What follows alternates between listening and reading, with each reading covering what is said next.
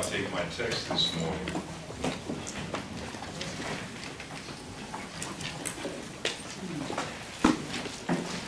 There are seasons of life. Seasons of life. And while we're living in one season, often it's hard to see what the next season will be. While we're experiencing one thing, it's difficult to say what will be even when we do not yet see it.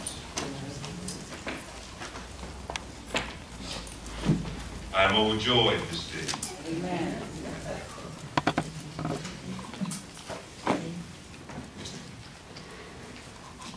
I love her with all my heart.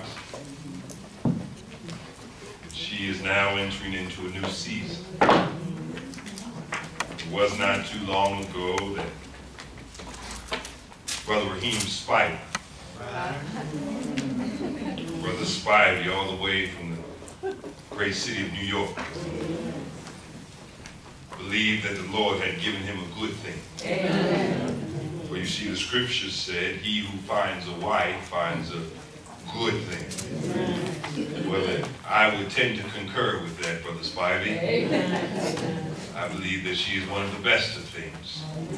So will you encourage and bless and celebrate with us the engagement of Brother Raheem Spivey, Sister Kimberly E. Houston.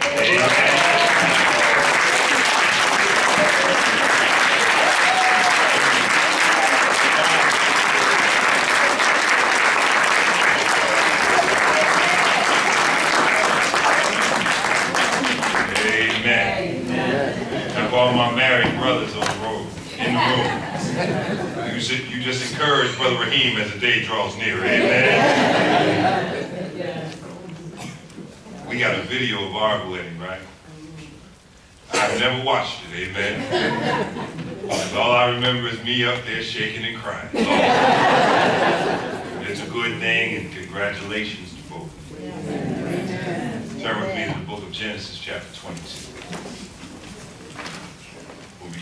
At verse 1. We'll read through verse 14, a familiar passage of Scripture. If your brother or sister does not have their Bibles with them, will you share that we all might see the Word of God? We read it from the New American Standard Version, and it reads as follows. Now it came about after these things that God tested Abraham and said to him, Abraham, and he said, Here I am. He said, Take now your son, your only son whom you love, Isaac, and go to the land of Moriah and offer him there as a burnt offering on one of the mountains of which I will tell you. So Abraham rose early in the morning and saddled his donkey and took two of his young men with him, and Isaac his son. And he split wood for the burnt offering and arose and went to the place of which God had told him. On the third day, Abraham raised his eyes and saw the place from a distance. Abraham said to his young men, Stay here with the donkey, and I and the lad will go over there, and we will worship and return to you. Abraham took the wood of the burnt offering and laid it on Isaac his son, and he took in his hand the fire and the knife, so the two of them walked on together. Isaac spoke to Abraham his father and said, My father. And he said, Here I am, son. And he said, Behold the fire and the wood, but where is the lamb for the burnt offering? Abraham said, God will provide for himself the lamb for the burnt offering, my son. So the two of them walked on together. Then they came to the place which God had told him, and Abraham built the altar there and arranged the wood and bound his son Isaac and laid him on the altar on top of the wood. Abraham stretched out his hand and took the knife to slay his son. But the angel of the Lord called to him from heaven and said, Abraham, Abraham, and he said, Here I am. He said, Do not stretch out your hand against the lad and do nothing to him, for now I know that you fear God, since you have not withheld your son, your only son, from me. Then Abraham raised his eyes and looked, and behold, behind him a ram caught in the thicket by his horn. And Abraham went and took the ram and offered him up for a burnt offering in the place of his son. Abraham called the name of that place, the Lord will provide. As it is said to this day, in the mount of the Lord it will be provided. Thus ends the reading of our scripture. For the next few moments, friends, I will share with you the subject, provision made. Provision made. It's an awful reality when you don't have enough of what you believe you need enough of to survive. You see it all the time, even on Sunday mornings. It seems that those commercials are more and more as Sunday draws near. Those commercials that show us the children in far-off lands that simply do not have enough to eat. I've always wondered when I watch these commercials about these far-off lands, places that Deacon Cole might have been to in his travels, and he finds these places where we see children who don't have enough. I sometimes wish, Sister Valerie, that they would just take a camera down Broad Street somewhere. Maybe they should find a way down Allegheny Avenue. Maybe go to where they find themselves in the wild hundreds of Chicago. Maybe go to South Central LA. Maybe find themselves on the farms of the Deep South. Maybe go down to Baton Rouge. Maybe find themselves on the coast. You don't have to travel from these 50 states to find some children who don't have enough to eat. For you see, when we always think that the problem is so far away from us, then we come to the conclusion that it's too far for us to do anything about it. It's a terrible reality when we don't think that we have enough. You know what it is even now. You know people in your own lives. You don't need me to tell you that there are some who are yearning to be loved. Yes. They find themselves doing so many different things, going so many different places, not knowing that they are loved by the one who is loved. They are trying to figure it out, find out, understand why it is that someone treated me this way, find out why daddy left when I was a young child, find out why mama doesn't love me, why my brothers and sisters try to work against me. They find themselves in this space where they say, I don't have enough. There are many people as the new year came. They began to decide for themselves what were going to be the New Year's resolutions, what were going to be the promises to self. There are some people who say, I'm not eating any meat this year. There are some people saying that I'm going to go to the gym five days a week for three hours at a time. There are some people that are saying that I'm going to do all these things. I've swore off McDonald's. I'll never go to Burger King. Wendy is not a friend of mine. They've made all these different things in their lives. They've made all these different promises to themselves, but they have forgotten, Deaconess Cora, that there is one reality that is true then and now. It was true at the beginning of time, and it's true right now in the year of our Lord 2016. And that truth is, my brothers and sisters, that God will provide. Yes, He will.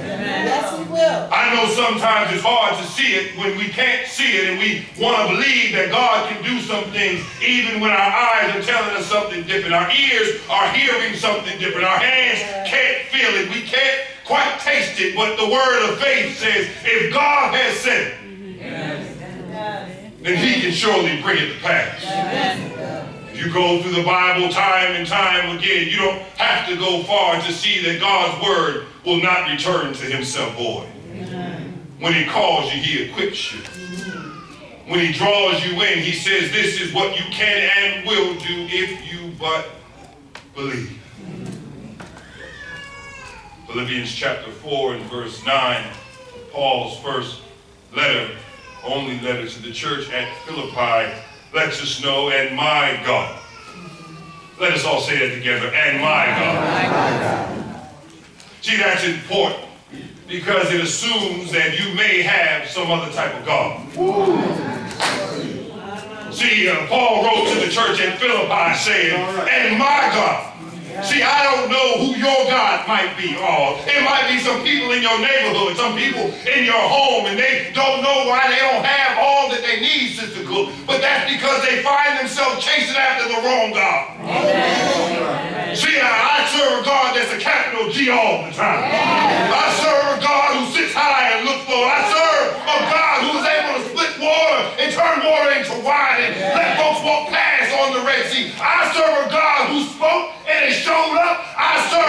only God that matters. And my God shall supply all of your needs.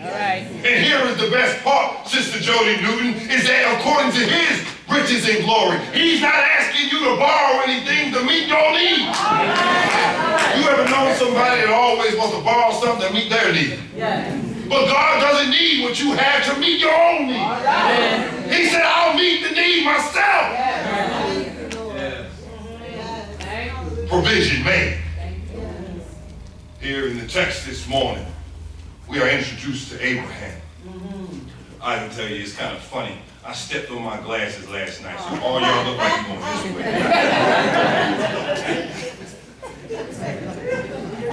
You met Abraham.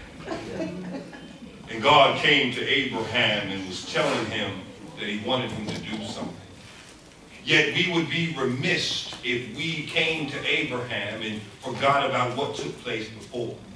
For this isn't the first time that God has asked something of Abraham. Don't you remember he came to Abraham and Abraham was 99 years old and Brother Stafford, he said, you're going to have a baby. Sometimes God asks you to believe for something that seems so far reaching, so far fetching, something that isn't even possible.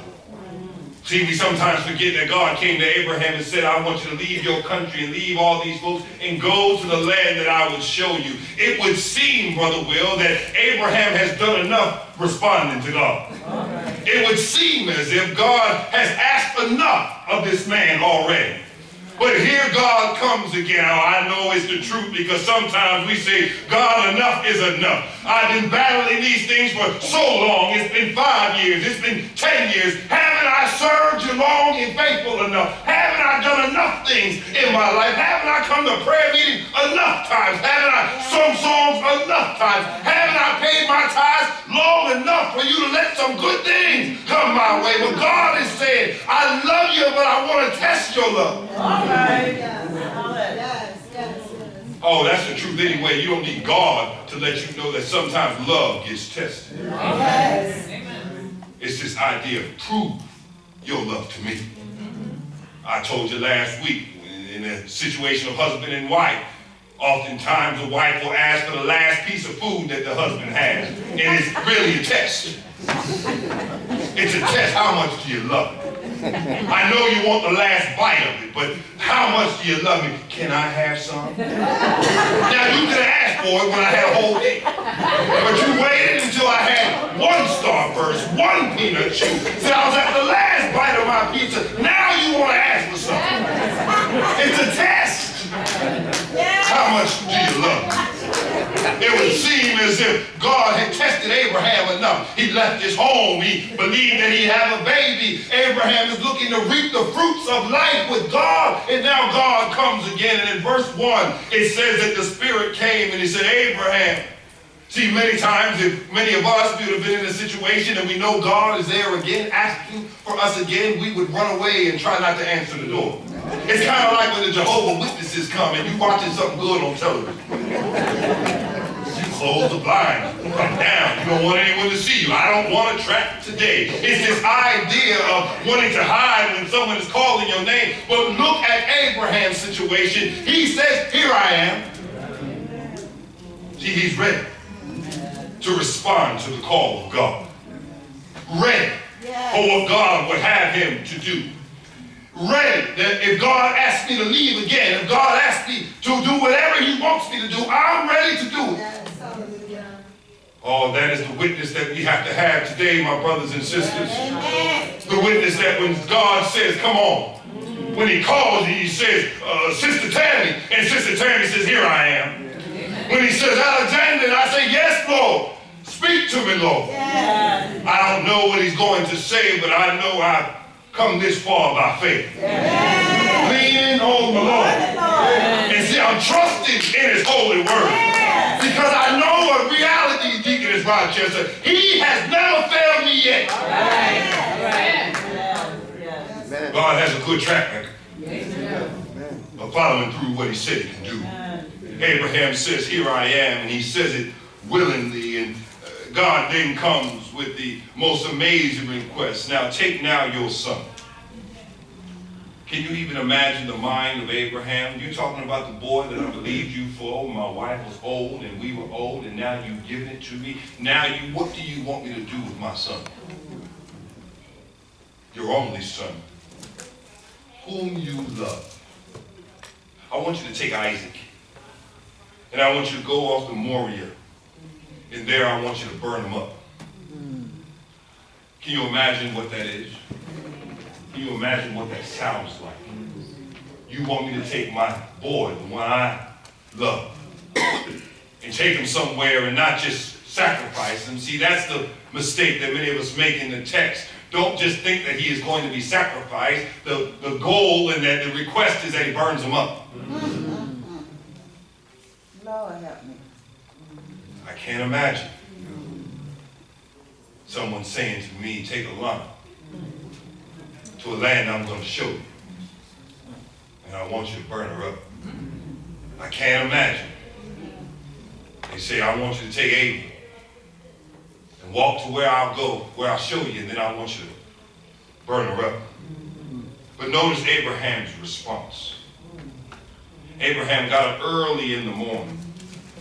He saddled his donkey, he took two young men and Isaac his son. He split some wood for the burnt offering, and he went to the place which God had showed him. Sometimes God's plans we don't understand. Amen. Sometimes God's plans. You remember what the text said in Isaiah chapter 55 and verse 8?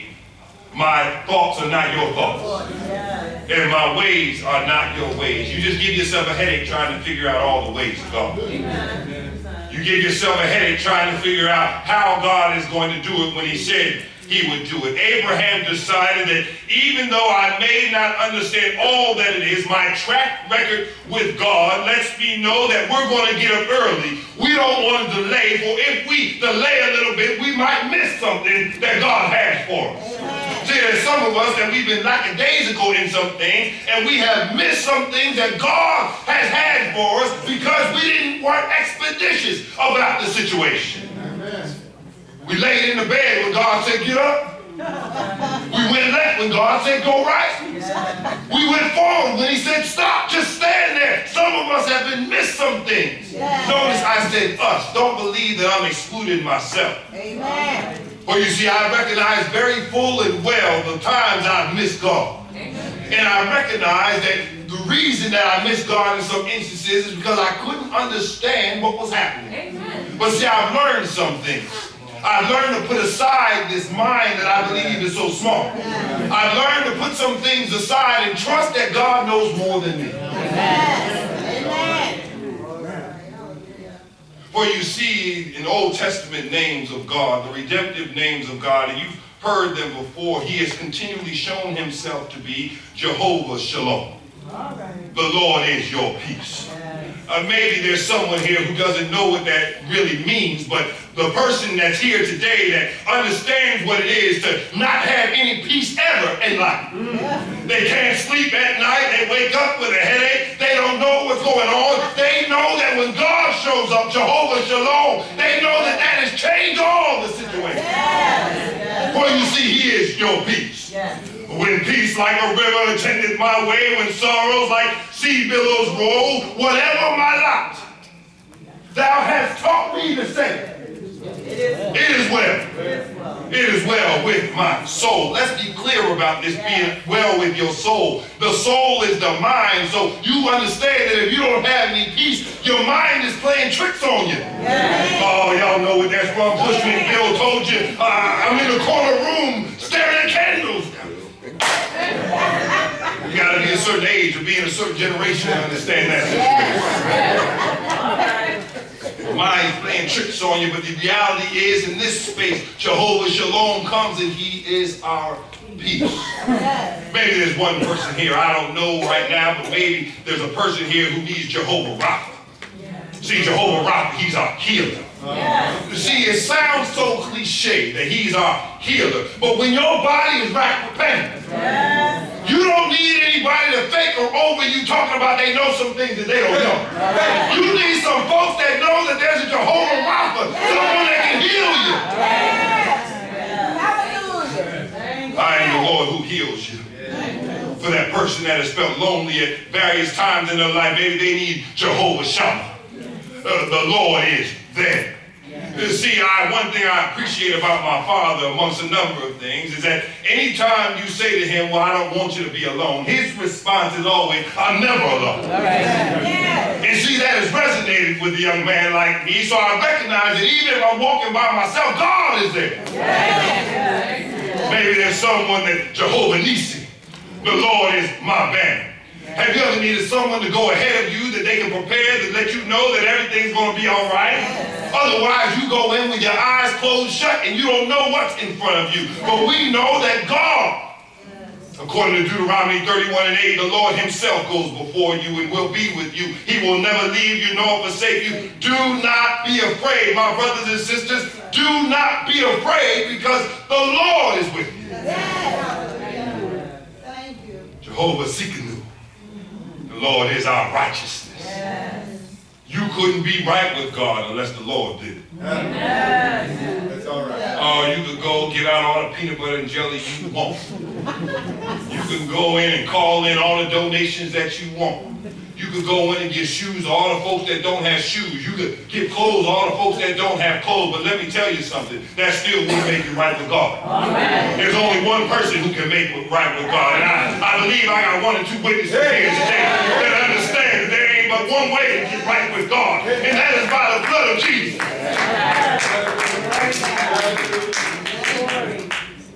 Last but not least, Jehovah Jireh, the Lord will mm-hmm. provide. Yes. Well, I mean, you look at the text and you see that God came to Abraham and said, I want you to go take your boy Isaac and go and sacrifice him. And hmm. you know that he got up and he got up early to walk that way. And even sometimes it's difficult and sometimes it takes a while to fulfill the call that God has given you. Look at the text when it lets you know. After three days, hmm. they finally got to the space. It would seem, Sister Jerry, that if you want me to sacrifice my boy, you should make it close for me to get there.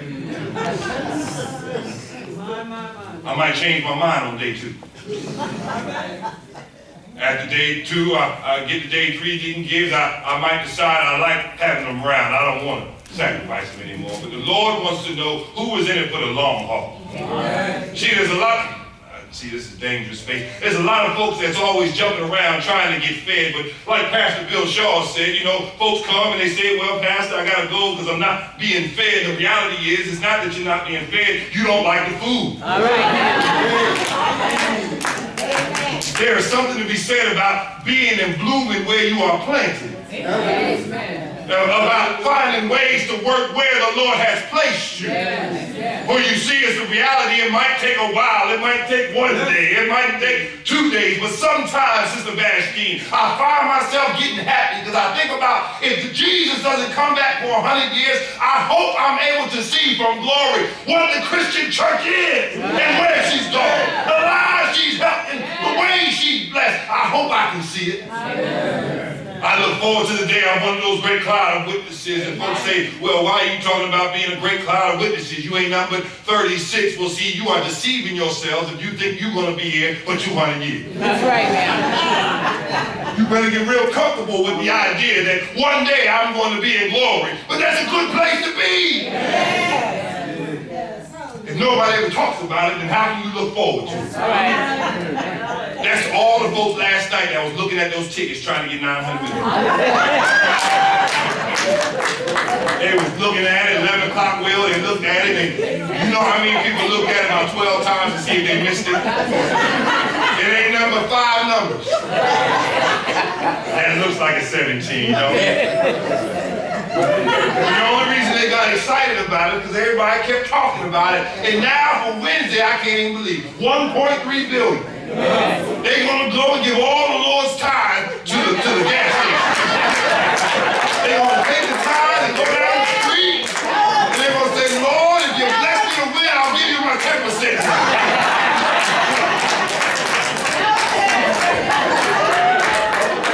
Lord, if I win, I promise you I'll pay all of it.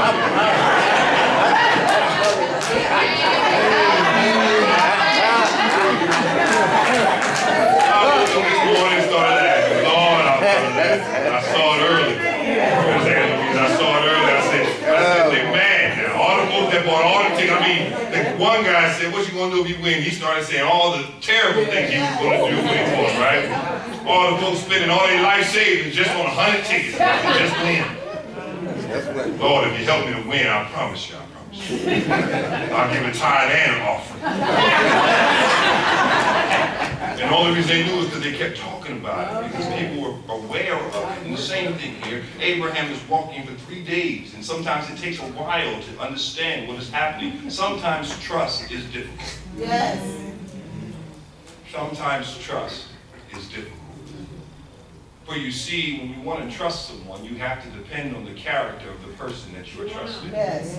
That is why it's so hard to trust someone who lies to you.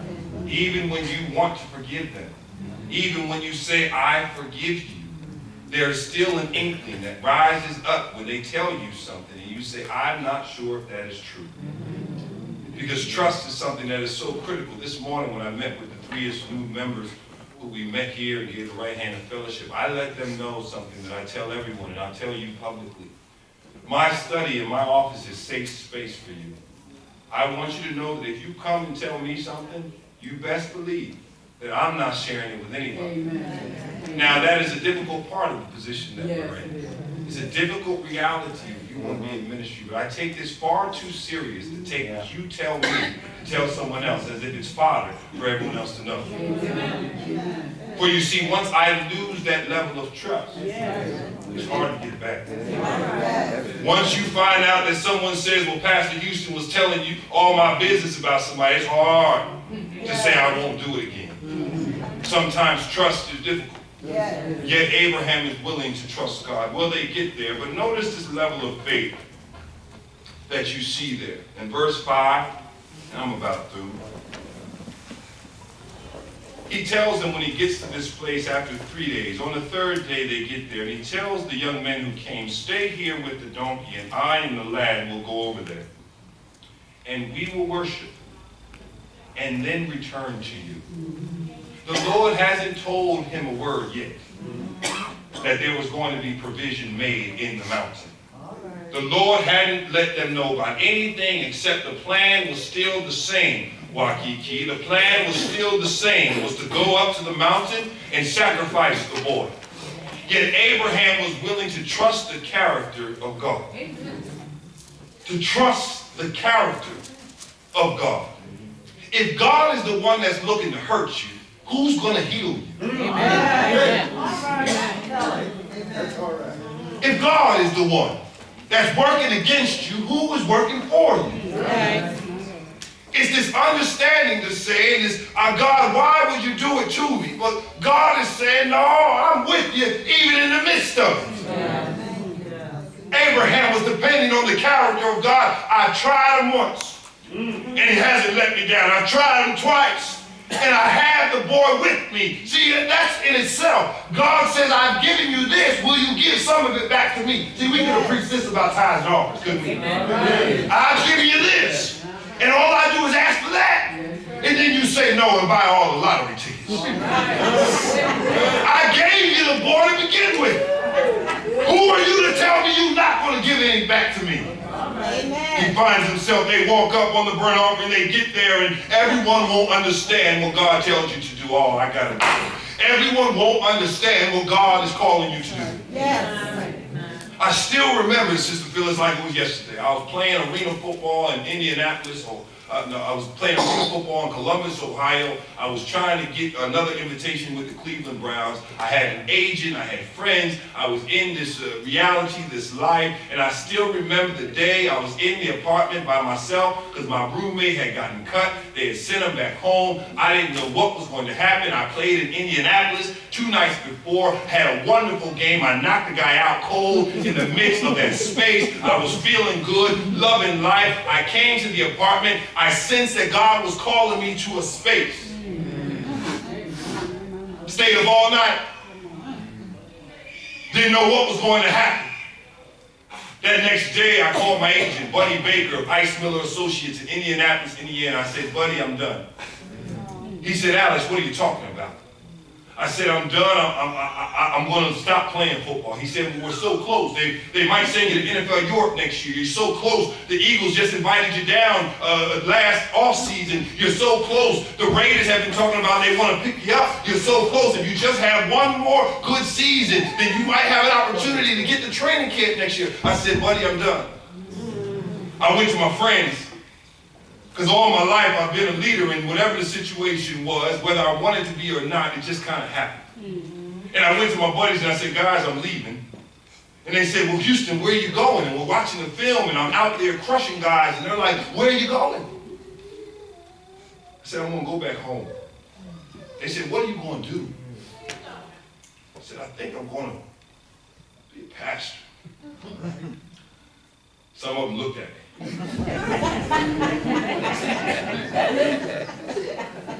said, you gonna do what? I said, yeah, I think the Lord is calling me into this, this life and this walk and this ministry. I I have a friend who will remain nameless, who said, you will never make it. The first time somebody says something sideways to you, you're gonna go off, and that's gonna be the end. Yes. He said, the first time, because they said, Al, you got a temper that's hard to control. And I said, I don't think so, I hope not. Fast forward a few years. That same friend called me. He said, I'm in a situation Will you come see about me. Hmm. I'll buy you a plane ticket for it wasn't in Philadelphia, I had to go. He said, you're the only person I know that I can call and trust with this information. I got on the plane and I went. I buried his father. I went to see his brother in jail. We prayed together. and He received Jesus Christ that night. Yes. It's the first time I talk about the story in public, and it still amazes me. For you see, he didn't understand the call of God on my life at that time. Little did he know that God had a plan all the while.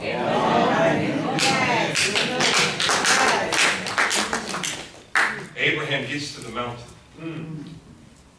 Isaac has the wood on his shoulder. He turns to his daddy and he says, Daddy, I see the wood. I see the fire. Where is the sacrifice?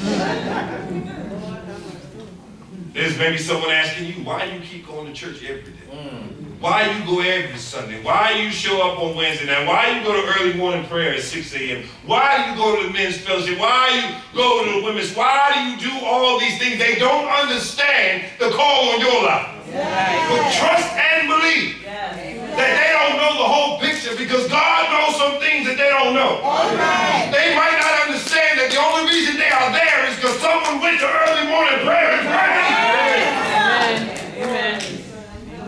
Let me see if we can close this up. They went, they walked up to the mountain, and notice in verse 8, Abraham's, uh, uh, uh, his, his testimony. He says, God will provide for himself the lamb for the burnt offering, my son. So they walked on together. They get up there. They walk up to the mountain. I'll just make it plain. You can read it when you go home. They walk up to the mountain. They get up there. Uh, Isaac goes across the, the sacrificial table. His father, who had wanted the baby so long, and now the boy is there. He's getting ready to kill him. Right at that moment, the angel says, stop!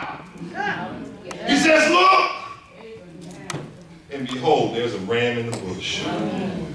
Abraham had said it in verse 8. He said, I, I, uh, We're going to come back. The Lord will provide. He told the workers when he got to the mountain, Don't you worry. Me and my boy are going to the mountain and we're going to worship and then we're going to come on back to you whole and healthy. I tell you right now, there's some of us right now in the space, you got to start talking the talk like Abraham said and say, Though you slay me, yet I will trust you. Though you call me into something that I can't understand, I will yet believe that God can do what he said he can do.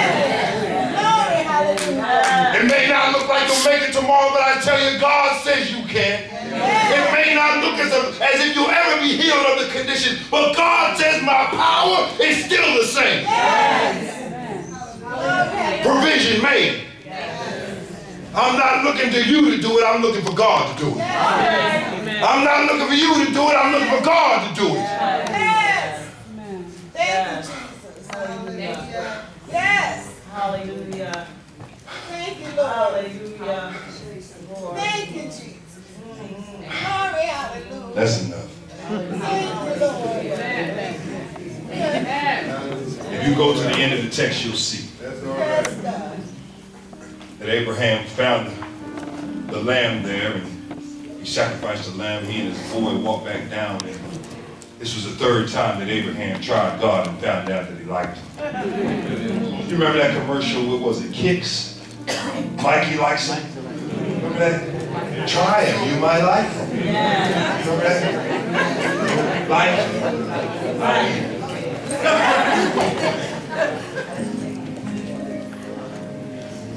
Now, my brothers and sisters, I have to be honest with you. I'm never going to point you to me as being able to get done anything that really, really matters. But I sure enough know that God can do exceedingly abundantly more than you can even ask or think. Amen. So I'll do my best to be the best pastor and friend I can be to you. All right.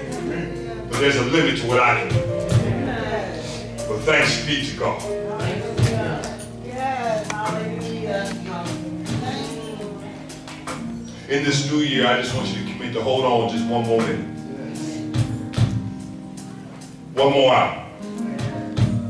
You hold on to the word that God has said. Yes.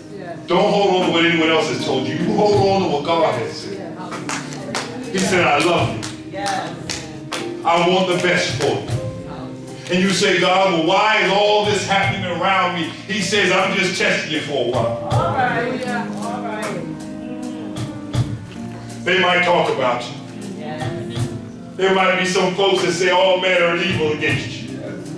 But Sister Melba, I'm going to testify that if you just hold out and remember that God will make a way. Yes. Amen. Amen. How do you think that our ancestors made it through when they was slaves? And then how do you think they made it through in a space where they couldn't drink from a water fountain? How do you think they made it through? They, they said that the Lord will make a way somehow. I may not know how the way will be made, but God can make the way. He can open up the womb. He can make a job. He can do whatever it is he said he can do because he's God. Amen. Amen. Oh, I know we got to go, but someone needs to hear it today. Yes,